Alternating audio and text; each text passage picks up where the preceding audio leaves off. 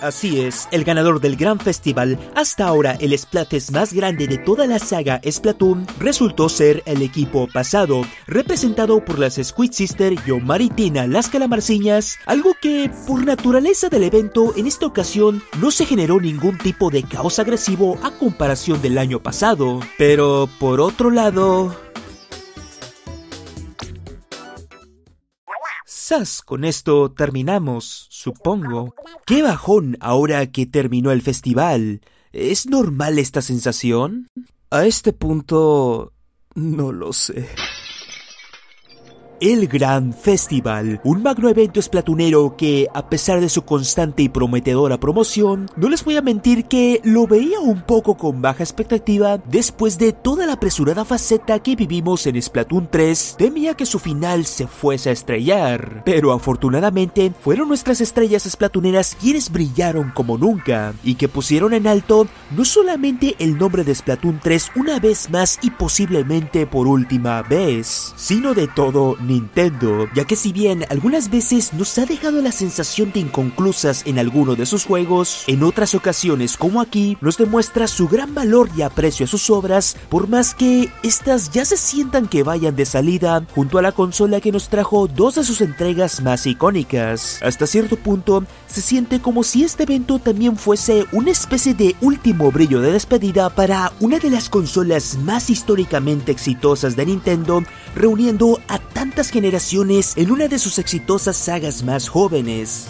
Y es que es curioso cómo se guardaron este evento en dos parches, uno de ellos que llegó justamente hasta los últimos minutos antes del evento, precisamente para que no nos spoiléramos nada y pudiéramos reaccionar todos juntos a una experiencia que para mí en lo personal se volvió indescriptible durante varios días. Pues cuesta creer la cantidad de contenido, pulidos y detalles estéticos que dieron la impresión de un juego algo distinto, tanto que hasta impresionaron a algunos escépticos de la Nintendo Switch, ya que toda esa potencia y contenido no fue incrustada a un nuevo juego, sino al evento de un juego que ya pasó su estreno y fechas de ventas hace un par de años. Y encima de eso que termina parte de su ciclo. A lo mejor Splatoon, al ser la saga en línea representativa de Nintendo, podría considerarse un caso excepcional, o de esos muy pocos que quiso limpiar y dejar una mejor impresión para entregas posteriores. ¿O será acaso porque en Japón Splatoon es tan querida casi al nivel de un Pokémon Mario y Zelda?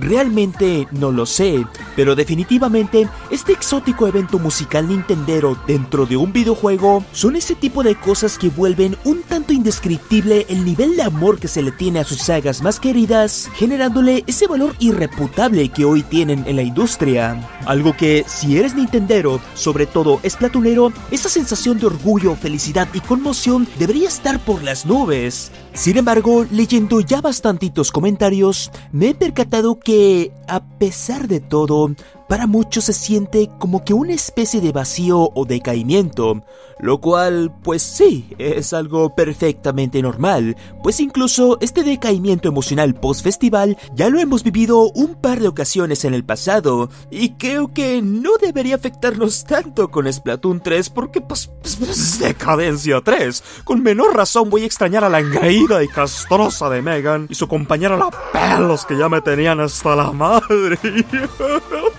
se vayan, chicos, los quieran. Quieran, se vayan.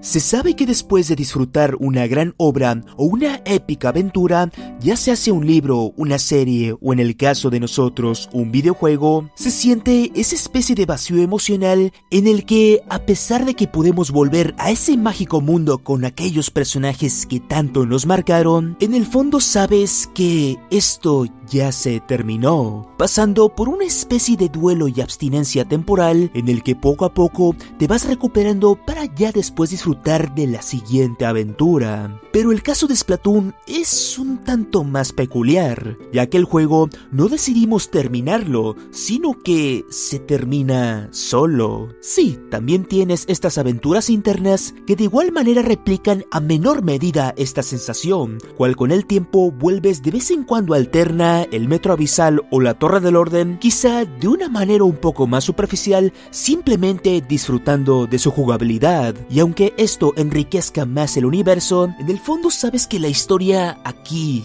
ya pasó, y ahora muchos están sintiendo esto con Tintelia, lo cual es extraño de explicar al ser su juego en línea principal y tratarse de varias historias que van ocurriendo de manera ocasional, haciendo que la empatía de los personajes principales se vaya generando de manera gradual, tal como ocurrió con sus entregas anteriores. Pero, al final, vivir un evento en donde se celebran todas las generaciones, ser los nuevos y tener menos anécdotas, no te genera más que solo desventajas al punto de lo injusto, sumándole algunos diálogos vacíos que no te llevan a nada, o si vienes atrás y casi no pudiste jugar Splatoon 3, te genera esa sensación de que te perdiste de mucho, tantas cosas que se pudieron o pudimos haber hecho, pero el maldito juego se tenía que terminar solo y así se va complejando el por qué ese vacío llega a más usuarios y se siente un poco más nubloso de lo normal. Pero a todo esto, ¿Por qué se dice que ya se terminó? Pues a diferencia de Splatoon y Splatoon 2, con Splatoon 3 ya se confirmó algo que muchos esperábamos incluso desde antes de este festival, y es que volverán Splatfest como el Splatoon, Frosty Fest, Spring Fest y Summer Nights, así como los combate eventos, Big Run y algunas actualizaciones menores, perdiéndose solamente la llegada de nuevas temporadas. En pocas palabras, Splatoon 3 seguirá vivo y tendremos más de una oportunidad de vivir de estos memorables eventos sobre todo para aquellos quienes no pudieron estar ahí en su momento. Y encima de esto, gracias a los nuevos amigos podemos acceder a todas las facetas del gran festival y escuchar sus épicas canciones, pero a pesar de tener una de las mejores noticias para Splatoon 3, el vacío ahí sigue y me cuesta digerir esta y otras grandes noticias y la pregunta sigue, ¿por qué pasa esto? Sí, sí, sí, estamos hablando de decadencia 3, Kakaroto. Que no estabas friegue y friegue que ya se terminara y ahora ya andas llorando por la pelos. Reflexionando, platicando y viendo videos existencialistas con música de Chente Fernández de fondo, profundicé un poco de qué es lo que ocurrió con el gran festival, pues no deja de ser el fin de un bello ciclo,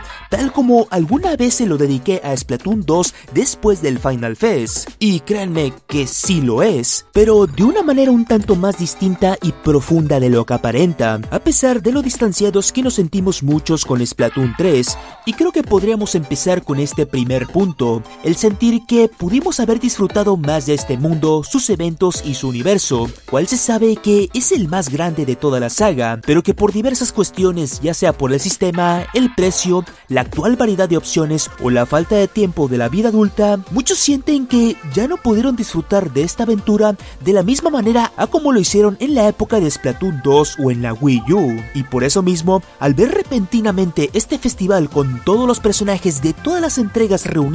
y entonando todos esos temas con los que crecimos durante casi 10 años en forma de una posible despedida, por supuesto que nos pega fuerte, no solamente a quienes vivieron la época de Splatoon 3, sino cualquiera de las épocas pasadas. Y si te sientes identificado con esta situación, es importante que sepas que no eres el único. Splatoon 3 resintió después de su estreno una fuerte caída de usuarios posiblemente por estos factores anterior mencionados. Y créeme que jugar de manera forzada y atareada solo para estar al día no es bueno ni para ti ni para esos bellos recuerdos. Pues hoy en día jugar todo y no perderse de nada se ha vuelto una tarea meramente imposible y creo que simplemente llamarlo tarea es un terrible error, por lo que es totalmente válido volver de vez en cuando para recordar o quizás reunirte con tus amigos es muy bonito. Y puede ser en cualquier momento, muchos incluyéndome nos perdimos más de un evento, es normal y no hay que sentirse mal por ello. Y esta celebración es una clara muestra de que no importa si te perdiste en el tiempo, celebramos simplemente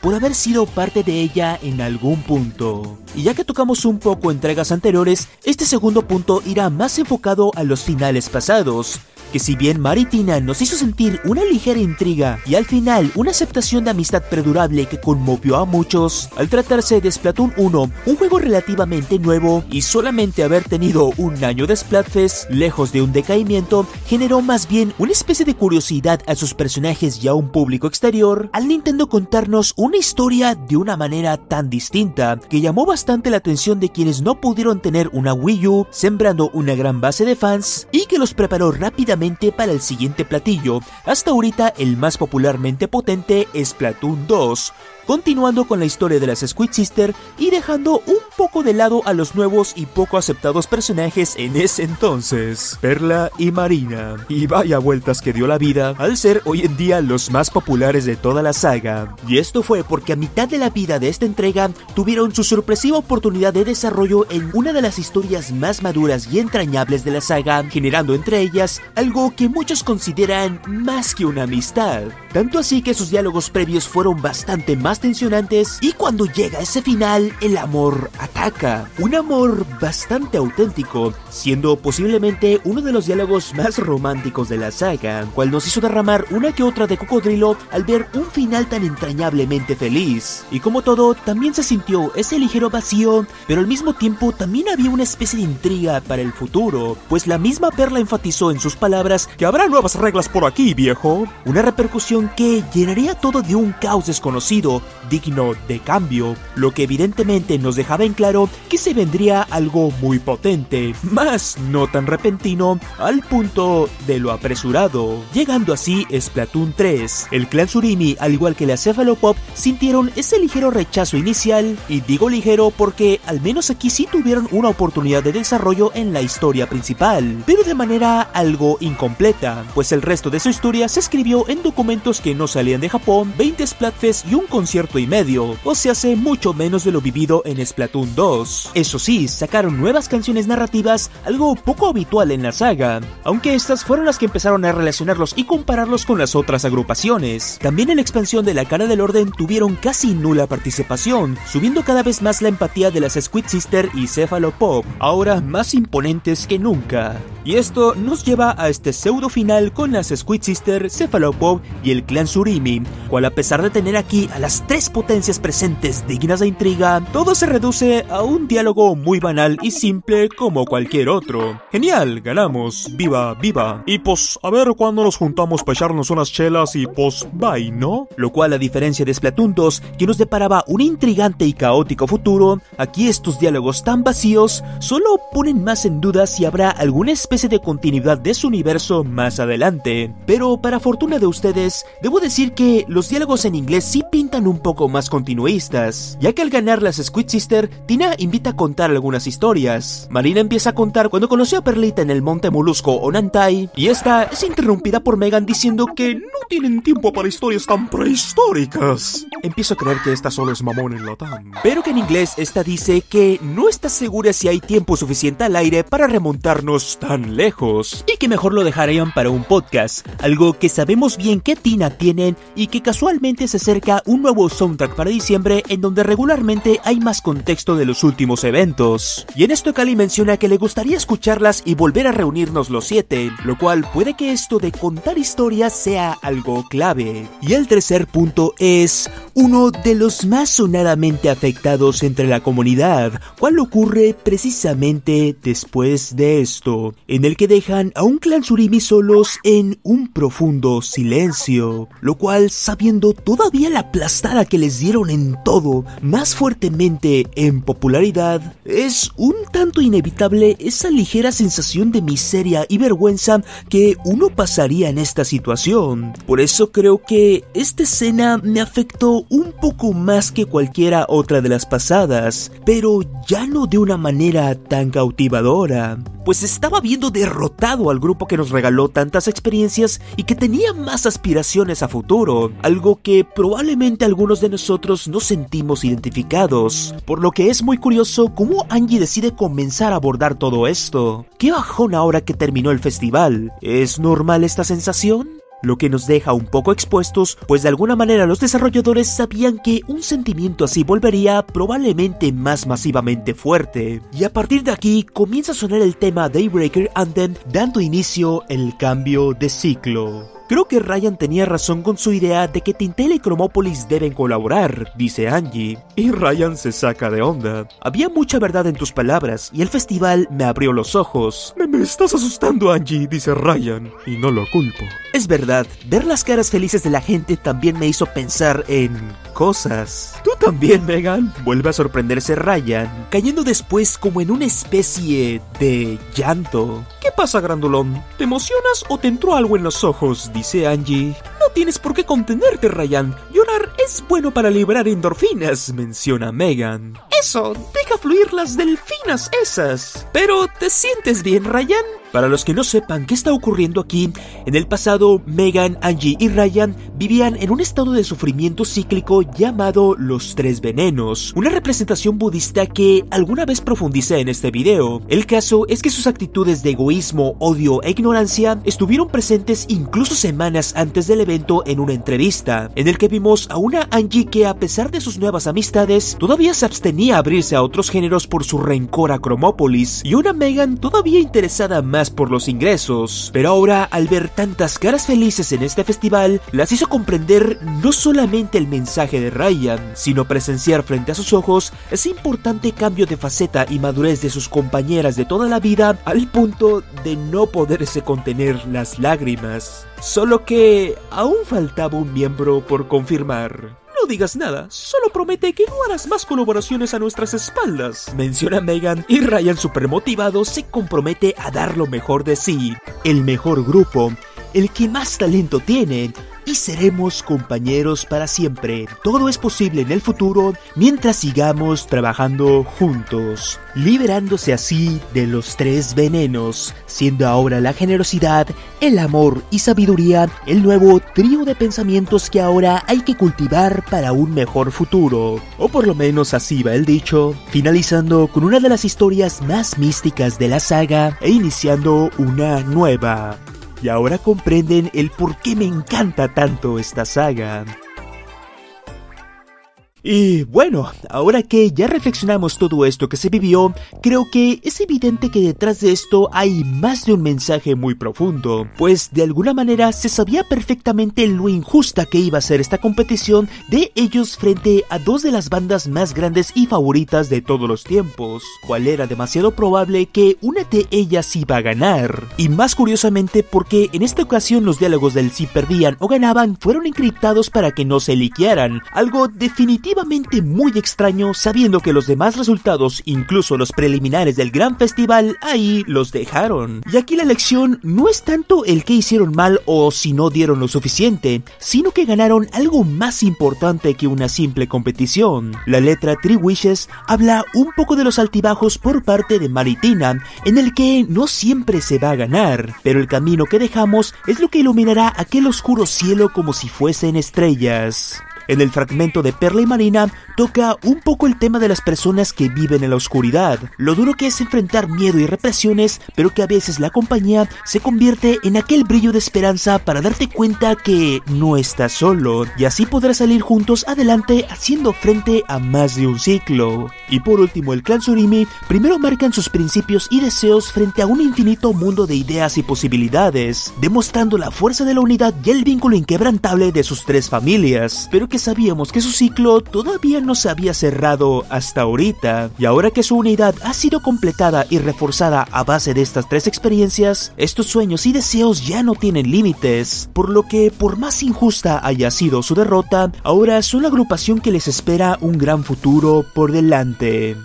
Y bueno, Sé que este último punto lo reforcé bastantito más, ya que, como sabrán, el clan Surimi son personajes con los que más bobié, me divertí y me dieron, o más bien nos dieron muchísimas risas, así como también momentos de enojo, tristezas, misterio, todo gracias a sus ocurrencias y sus extravagantes formas de ser. Toda una montaña rusa de emociones en el que inconscientemente nos generó un apego a estos personajes, y que por supuesto, el saber que esas emociones han llegado a su fin, hace sentir un poco más fuerte ese vacío. Pero si hay algo que he aprendido de Splatoon es que quienes realmente mantenemos vivos a esos personajes somos nosotros. Pues Splatoon es de esas pocas sagas que tienen un gran peso en los fans. Créanlo o no, esos tributos, reacciones, experiencias compartidas por los fans del mundo han hecho mucho por la existencia de los personajes a como los conocemos, cual incluso los mismos desarrolladores alguna vez mencionaron impresionados esa inesperada fuerte influencia que han generado sus personajes y su universo a un punto de que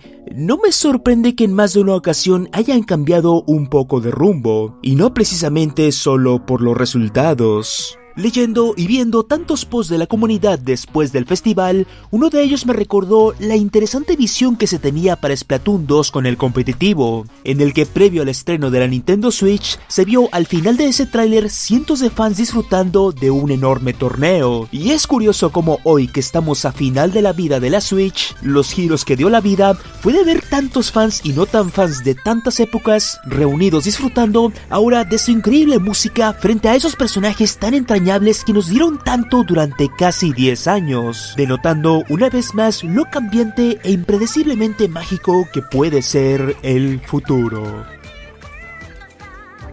Con esto no quiero decir que se olvidaron del competitivo o su jugabilidad, aún tiene mucho que mejorar, pues como todo en la vida está lleno de altibajos, intentos y uno que otro tropiezo, algo que caracterizó tanto a Splatoon 3 y que irónicamente sus personajes representan ese proceso de aprendizaje para ser mejores posteriormente, por lo que puede que en algún futuro se cumpla esta visión u otras quizás más inesperadas, pues a final de todo, nosotros somos parte de su trayecto y a pesar de su misteriosa continuidad, Cuesta creer que realmente se trate del fin de Splatoon y sus personajes como los conocemos. Como les digo, no creo que sea el fin mientras nosotros los mantengamos vivos en nuestros corazones como comunidad. Y ahora, ¿qué sigue? O más bien, ¿qué nos sigue? El simple hecho de que muchas cosas estén encriptadas u ocultas nos hace creer que probablemente se estén guardando algo interesante, pudiendo ser una nueva entrega, una ligera pausa a la saga o incluso continuidad para Splatoon 3, pues no se va a negar que aún hay muchas cosas que se sienten inconclusas, así como el fascinante misterio de este festival, la destrucción del escenario y su hermosa canción con tantos significados que me gustaría tener la oportunidad de profundizar más adelante si es que la Switch 2 no ataca antes. No sé hasta cuándo o si en algún futuro dejaré de hablar de esta enfermedad, pues vivir estos ciclos serán contados en nuestras vidas, pero me alegra saber que tanto yo como ustedes hemos aportado algo que mantendrá esto vivo para generaciones posteriores. Supongo que es la lección del pasado y tenía que sacar algo de ello para cumplir con la petición de Tina. Y por supuesto que ustedes también están invitados a contar sus historias con este gran juego, ya sea aquí en la caja de comentarios o donde se sientan más cómodos. Espero tener la oportunidad de seguir hablando de esta enfermedad, cuál podría parecer el fin, pero realmente el camino y la historia la seguimos escribiendo. Por lo que una vez más agradezco el que me hayan acompañado en un fin de faceta más, así que muchísimas gracias a todos quienes se pasaron a mi directo sorpresa, un evento que saben que no hacía desde el Final Fest, o se hace hace 5 años. Y pues por mi novatez y desconocimiento se salió un poquitín de control con esto de las membresías, por lo que quiero hacer una mención especial a Vicio y Zona Z que se fletaron bastantes membresías a ustedes nivel gatito, por lo que si les apareció la función de poner emotes en los comentarios ya saben a quiénes agradecerles. ¡Apártense, salvajes! Lo siento. Es que no está acostumbrado a tantas muestras de afecto. Que ahora sí, agradecimientos y bienvenidos a los miembros del canal con mención especial a Aviter, Juan Andy Cavendish, Atomic Wild, Gabri UWU, Iglesia 79, Oscar del Cruz X, Sulper 100, Nana Chan, Ernesto Laguna Flores, Kira Kira Nohoshi, Meta, Tails Prower 308, El Macho, Globi Colegas, Drauso y Clow Braca. En serio, muchísimas gracias a todos por acompañarme en este importante camino para la saga y nos guachamos muy próximamente con más de esta futura enfermedad llamada Splatoon.